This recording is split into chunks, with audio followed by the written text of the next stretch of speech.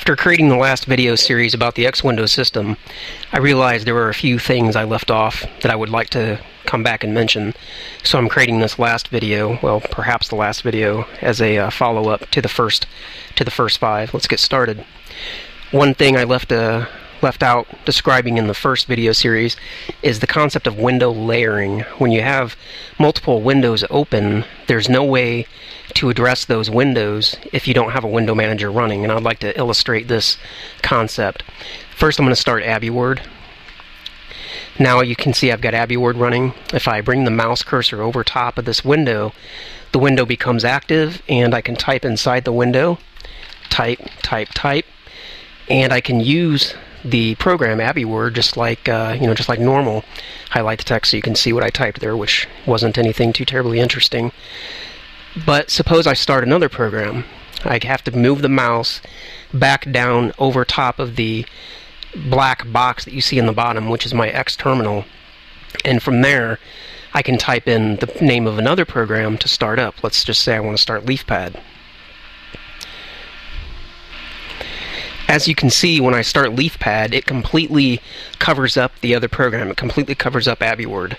So how do I access AbiWord? Well, the answer is I can't because because there's no window manager running. I can't get behind this window that's up here in the front.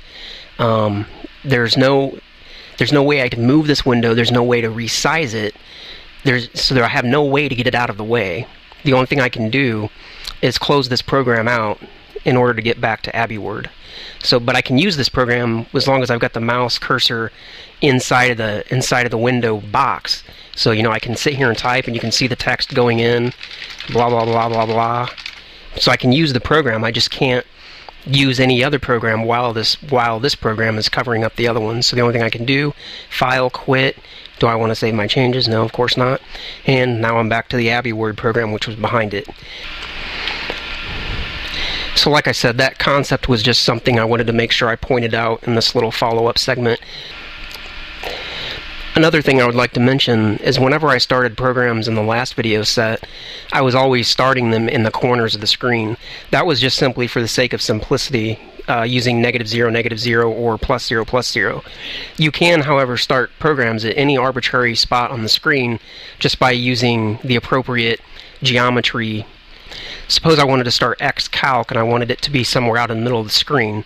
I can type xcalc space hyphen geometry and then by providing the coordinates I want, I can start xcalc out here in you know towards the center of the screen or it's kind of in the upper left but nevertheless it's out of the corner it's not running in the corner like it was like all the programs were in the first series and the same thing if I want to start you know another program let's just say xedit you know I can I too can start that at some other position on the screen so the thing to realize here is you don't have to have a window manager running to, to, to be able to do a whole lot with the system. I would be, I, I could, you know, using geometry, specify that I want the calculator like up here in the upper right corner, you know, more or less in the right corner. I can start xedit down here, and I can have an X terminal over here. I, you know, I can really uh, get things out of the way, basically. Let me close out AbiWord here so you can kind of get a better idea. Um, you know, I've got the calculator up here. I can use it. All I got to do when the mouse is over it, it has focus because, as I mentioned before in the last video, when when there's no window manager running, you have sloppy focus access to your program. So all I have to do to address the calculator is just make sure the mouse is over top of it. If I then want to use Xedit, I can just put the mouse within its window frame and you know type away. I, you know I don't really know how well you can see those words, but but I am able to do that. Now, this is an interesting concept because there's a whole lot that you can do without a window manager. For example, I don't really think having the X window system on a server is necessary. In fact, on any server I ever set up, I refuse to install it. But if you absolutely had to have, you know, the graphical environment, you could install just the X window system core and not install like KDE or GNOME or any of those enormous window management, desktop management systems. You wouldn't need GTK2 libraries or Qt libraries or any of that. You could just install the X Window System core, and then by editing your xinitrc file, you could have it you could have the X window system start up and place different programs at different places on the screen and have an extremely functional X window system. You know, like let's say I needed to start another terminal, I can type X xterm space geometry, we'll say minus zero plus zero. You know, now I have two X terms up here on the on the one above. I can type in say top, and then have a list of the processes running.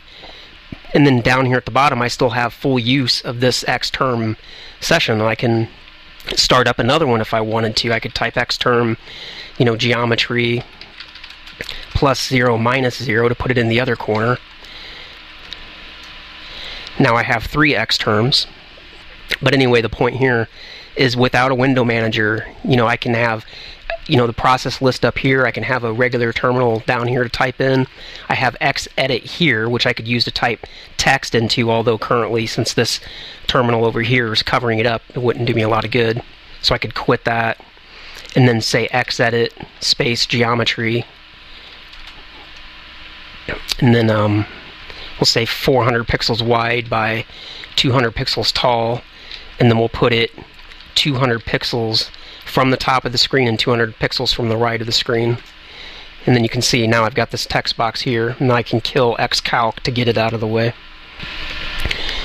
So now I've got xedit up here if I need to type notes in for whatever reason, if I just want to even copy paste, because that still works. If I highlight text out of the bottom terminal down here and I right, or excuse me, I center click into uh,